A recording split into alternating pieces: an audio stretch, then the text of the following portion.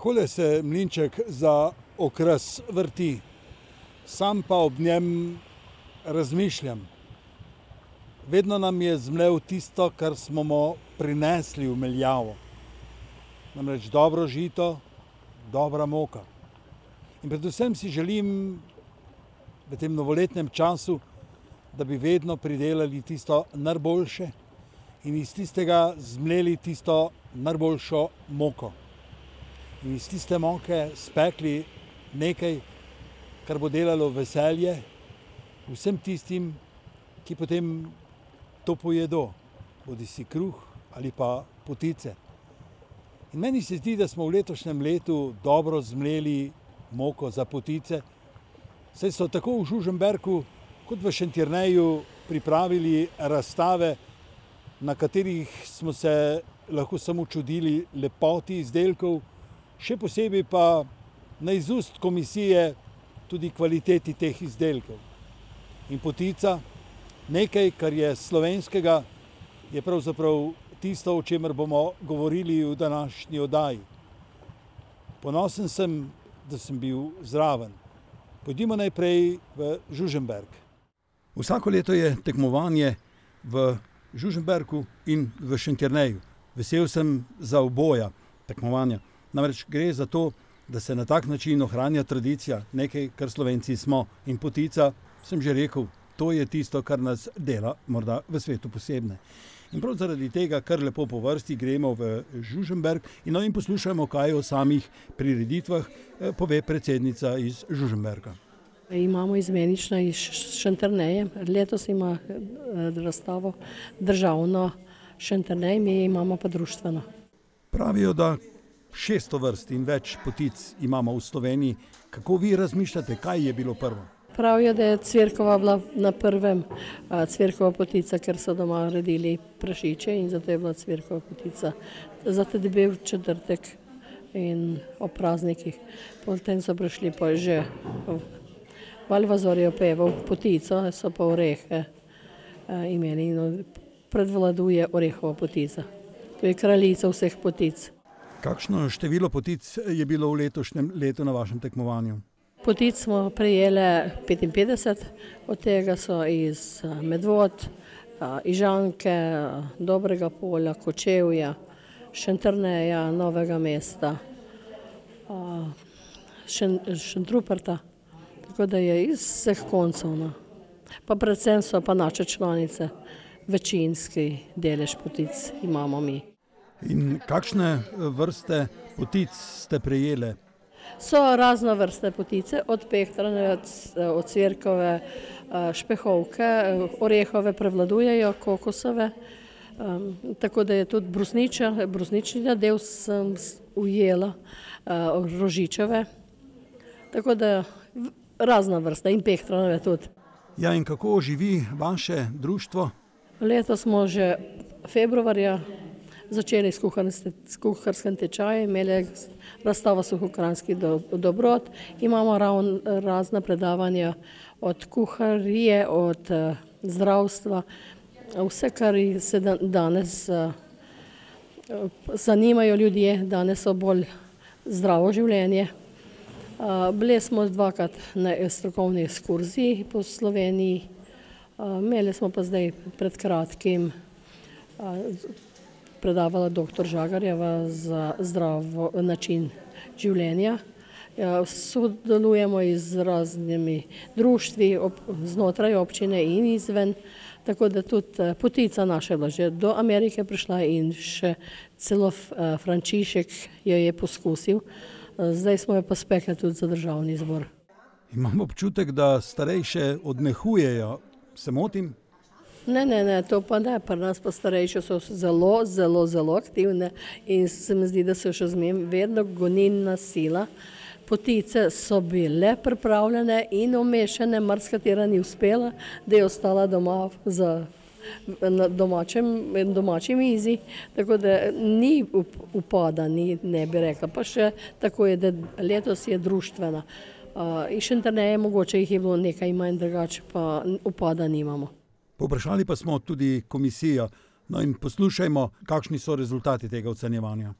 Ocenjevala sem eh, potice eh, z različnimi nadevi, od kokosovih, eh, rozinovih, lanenih, z skostanjem, potem od cvirkovka, špehovka, ajdeve potice, pa kokosovih, ki jih je bilo največ.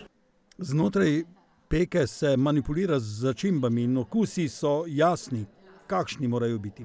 Ja, eh, okus je po slanini, naprimer, če je res špehovka ne, in se je poznalo, da je res domače eh, prekajeno eh, meso. Ne. Eh, potem kokos je tudi včasih različen, ker je grobo mlet, bolj drobno mlet, se tudi pozna pri nadevu, da nekatere so bolj suhe ali bolj sočne. No, saj ste mi že rekli, da se kvaliteta dviguje, ampak povejte letos. Ja, v glavnem so potice dobre, eh, tudi tako po okusih, edin eh, zaradi sočnosti eh, nadeva ali včasih tudi premokrega nadeva so tudi drugačnega okusa ali pa tudi sestave. Vsako leto pa še letos upozoriva, kaj je potrebno paziti takrat, ko delamo tekmovalno potico na kaj bi morali paziti. Mislim, da so točna razmerja eh, med nadevi in samim testom, eh, pa da so potice tudi en dan prej pečene, ker nekatere dobijo okus šele po eh, naslednji dan, ker so, naprimer, da je bolj izrazit nadev, kot je drugače, drugače pa testo, če je potica topla. Je pa zanimiva ena od potic, povejte. Slana je bila zelo dobra kot čevrska potica, ker je bilo še jajce noter, naprimer, in eh, eh, ocvirki ne, in je bila zelo dobra tudi po okusu. Vi pa ste ocenjevali orehove potice, kraljice potic. Ja, za orehovo potico, res je kraljica potice. Eh, me veseli, da je eh, bilo zelo veliko v, eh, v okroglih potic, ker je značilno za našo slovensko potico, ker naj bi tudi bila. Potice so bile kar dobre, sicer nekaj kar mal, premal pečenih. Nekaj je tudi eh, premalo sladkih in slanih, ker ni nič narobe. Ne? Ampak, če pa uh, ocenjuješ okus, uh, če je premalo slana in premalo sladka, ni, ne da tistega pravega uh, okusa, kot bi moglo dati, in ne moreš tu točke dati tako, kot bi lahko. Pri orehih na tržnicah 3, 4, 5 vrst po kvaliteti, kako v poticah. Orehe niso glih ne vem kako uh, vrhunske kvalitete, uh, žarko, žarkosti ni, so pa kar nekaj pregrobo mletih, tako da so taki ko um, grobo mleti ne, in ni tisto, da ti po ustih ne gre lepo po ustih in ni pravega okusa, kot bi moglo biti. Niso lepo mleti, ker so mleti v multipraktiku. Kaj pa moke? Eh, moke so kar eh, kvalitetne, eh, nekateri pa pri, pre dozirajo dišave, naprimer cimet ali kakšne klinčke dodajo, ker ima specifičen von in je premočan. Kaj pa maščobe? Eh, maščobe so pa kar bile tako, da eh, kar zadovoljive, tako da ni eh, tudi pregreta smetana, je zelo da prijeten okus in ni bilo nobene učutiti nobene grenkove. Pri potici pa ocenjujete tudi povitost, bi temu lahko rekli, letos nekaj težav. Potice so bile kar lepo povite, nekatere, eh, kar večina potic, lepo povitih, lepo nadevanih, kjer misli eh, je bila malo prevelika in je malo iz modela ujede, ne, ker pač to ima lepotno napako, ampak so pa kar dobre. Kakšna naj bo pot na tekmovanje? Za tekmovanje si naj pogledajo ocenevalne lestne in uh, lejte, je pohvalno, da uh, preveč zaužijemo sladkorja, soli, uh, moke, bele moke in tega, ampak če pa daš nekam nekaj na ocenjevanje, se pa potrudite, dajte dovolj sladko, dovolj slano, ker to da bistvo okusa in polnosti potici. No in še kdo drug, ne samo kmetijsko ministrstvo, ima potice rad in Alenke, Bratušek, naše ministrice smo bili veseli. Poslušajmo. Najprej zelo sem vesela, da sem danes tukaj, ponosna sem, da sem lahko podelila zlata priznanja, zlate nagrade za najboljše spečene potice. Sem pa povedala, da za kuhalnico absolutno primem, če se le da čez vikende, tako da uh, skupno družinsko kosilo je za nas uh, pomembno, res ga uspemo samo čez vikende, ampak sem tudi priznala, da tudi pečem potice, pa še nikoli v življenju nisem niti poskusila, tako da ne da mi ni uspela, ampak niti poskusila je nisem, ampak sem, bom rekla, danes dobila kar nekaj motivacije, da poskusim in bomo videli, če ne prvič, pa drugič ali pa tretjič. Župan, pravite, da je doma najlepše in povedali ste tudi najboljše.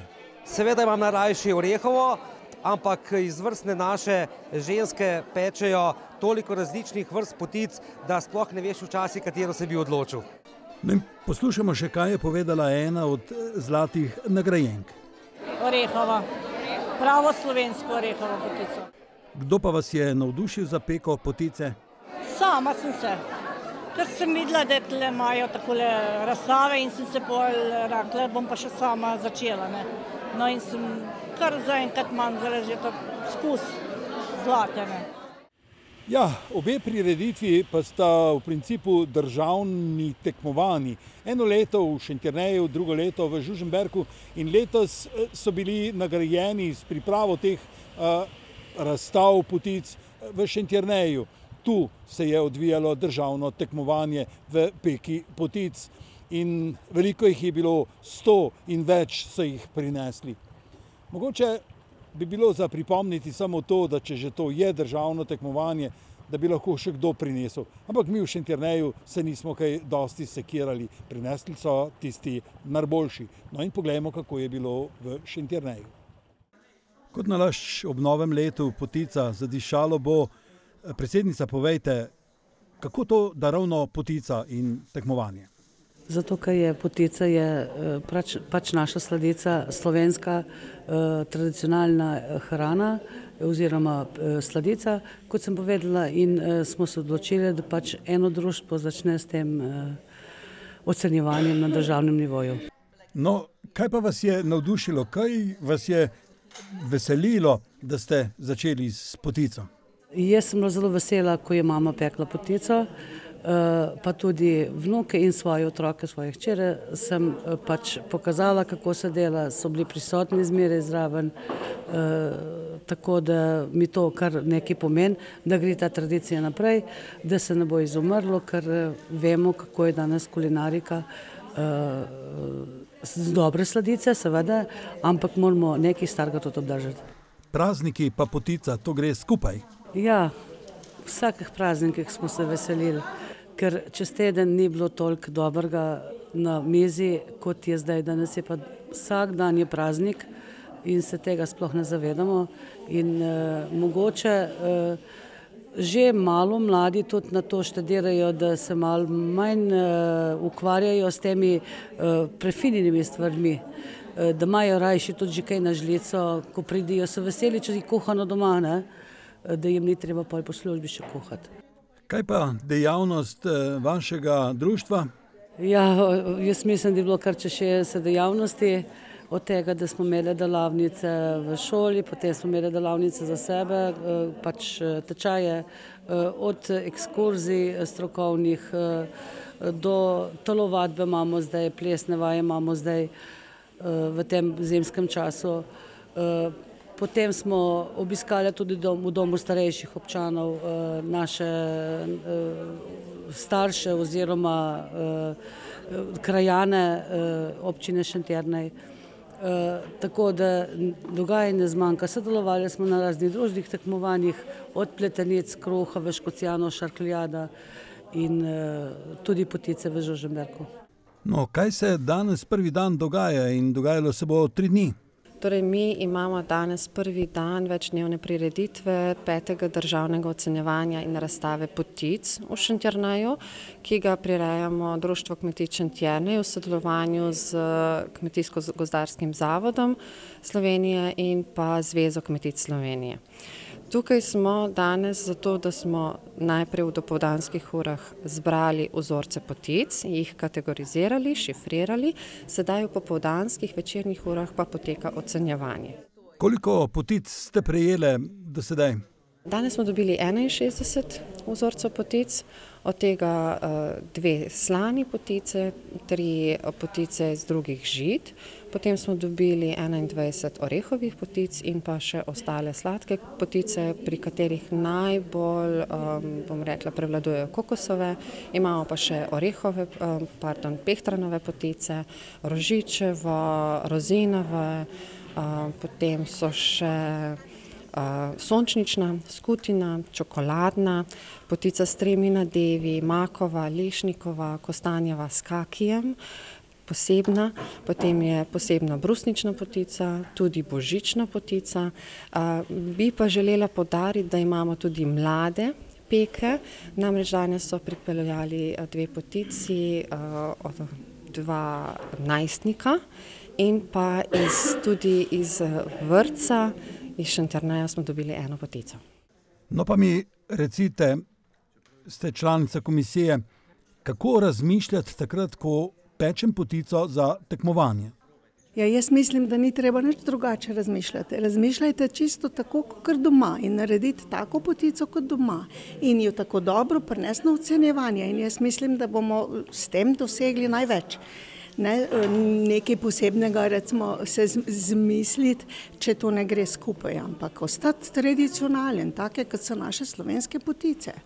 No, pa mi odgovorite, pri pripravi moke na kaj moramo paziti? Ja, pri pripravi moke je je zelo pomembno, katero moko pač vzamemo, da vemo, da je ta moka pač mehka moka, da ni to moka, ki je prevlažna, ki smo jo predolgo imeli, ki je dobila neprijeten vonj, to se pravi svežo moko. Moko presejemo vedno, ne glede na to, če piše, da je presejana, in pa seveda nekje na toplem jo imeti, preden začnemo peči, ni potrebno, da jo tisti trenutek prinesemo pač od nekod. Reciva naprej, kako je s testom? Ja, zdaj testo lahko pečemo na različne, mislim, testo lahko pripravljamo na različne načine, torej gre pač za dodatek seveda kvasa, in pa potem maščobo lahko penasto vmešavamo, lahko se odločimo za maslo ali pa mogoče tudi nekateri za olje. Dodamo potem rumenjake in pa dodamo potem tudi sladkor, to lahko penasto vmešamo in potem dodamo vzhajanemu kvasu in moki. Ne smemo pozabiti na rum, na vaniljev sladkor, in pa na limonino lupinico, kajti to so dišave, ki jih je potrebno dodajati testu, da dobimo okusno in pa seveda prijetnega vonja tudi samo testo. Velikokrat rečete ljubezen pa roka mora biti tista, sam pa razmišljam, trdo, mehko testo, kako? Kvašeno testo, torej to boljše kvašeno testo naj bo bolj mehko, kot delamo na primer za kruh. Zdaj spet je odvisno, kakšen kruh in iz katere vrste moke, ampak če delamo tukaj iz pšenične moke, ne sme biti pretrdo zameseno. In pa seveda, kolikor bolj bomo uporabljale poleg roke, tudi svoje srce, bom rekla, in tako naprej, takrat bo sigurno boljša. Ne, delati moramo potico z ljubeznijo. Torej lotiti jo z veseljem, mislim, narediti jo za, za, ko delaš doma za svoje, ko enkrat zadiši lepo po potici, se mi zdi, da je to tako zelo prijetno, nekaj domačega. No, ko imamo testo, kako ga razvaljamo?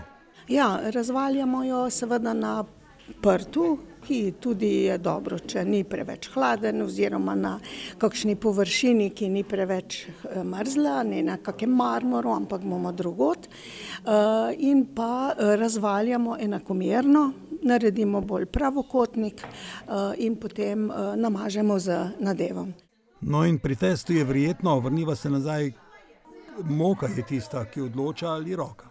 Zdaj, če se vrnem mogoče k moki, jaz uporabljam tip štiristo pšenično moko ali pa mogoče petsto, ampak jaz običajno vedno štiristo.